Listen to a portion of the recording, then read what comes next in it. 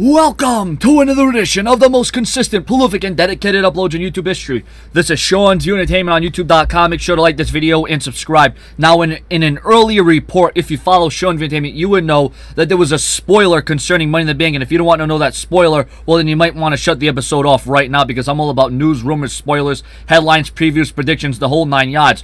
There was a report from F4W Online that stated there is a good possibility that John Cena will walk out of Money in the Bank, the brand new WWE World Heavyweight Champion, but there was no details as to how he was going to win it and what the situation was going to be, what the scenario was going to play out. Well, ladies and gentlemen, more details are coming available right now because there is rumors that with regards to the WWE World Heavyweight Championship ladder match at Money in the Bank. Original reports, as I stated earlier, had John Cena winning the match, thus becoming the brand new WWE World Heavyweight Champion. However, at that time of the report, there was no details as to how Cena would win the match in the championship. Now, there is rumors that John Cena may end up winning the match in heel fashion heel fashion. And if you don't know what a heel means, means a bad guy with Triple H of the Authority helping him to victory. Stephanie McMahon could also play a factor in this match.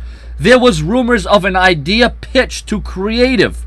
A rumor that would see Roman Reigns climb the ladder, scale the ladder, retrieve, almost have his hand on those belts to retrieve the championship within his grasp. He's about to, you know, grab it and take it only for Triple H to stop him, and Cena would take advantage of the situation. Although there has been multiple rumors and speculation for years concerning a heel turn for John Cena that has yet to happen, there is talk that if there was ever any time for a Cena heel turn to occur, this would be that time, as it would make the most sense in it being in Boston, Massachusetts, which would make for a hostile crowd.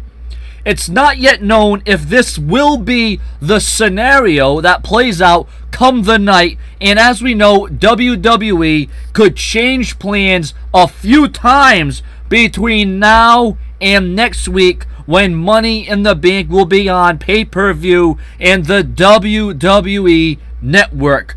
Your comments, your opinions. Is this heel turn going to finally happen? Are we going to get a little glimpse of it? Are we going to get a little prelude? Is WWE going to swerve the audience? Is the WWE finally going to pull, pull the trigger? Is John Cena going to join the authority along with Seth Rollins and Randy Orton and Stephanie McMahon and, of course, Triple H? This would definitely change the dynamic. This would definitely rock the foundation of the WWE from its very core. Now, I have no problem with John Cena winning the WWE World Heavyweight Championship because he has never been the WWE World Heavyweight Champion. Has he been a WWE Champion? Hell yeah. Has he been a World Heavyweight Champion? Hell yeah. But has John Cena ever held the WWE Championship and the World Heavyweight Championship simultaneously at the same time? Hell no. So, a lot could be said about a lot of superstars on the roster that have never held the WWE World Heavyweight Championship, but at one time or another, they held the world title or the WWE Championship. All I'm saying is this I would be more satisfied with Cena winning the title under heel tactics. If John Cena won under this circumstance, I would be all for it. Otherwise, Cesaro or Roman Reigns, yeah, they could win the match, but it's simply too early. Bray Wyatt, it doesn't make a whole hell of a lot of sense for him to win the championship right now. And, you know, the WWE are looking at, at, at all factors. They have to factor in, you know, the situation. They have to factor in the storyline. They have to factor in the mic work. They have to factor in the skill, the motivation, the passion, the ratings, the ticket sales, and all that. They factor in a lot that goes into this. And at the end of the day, the most sense it would make is for John Cena to win this match and become the new WWE World Heavyweight Champion. And I think even most of my subscribers would agree that if Cena were to win the belt, it would have to be with a heel turn. Subscribe.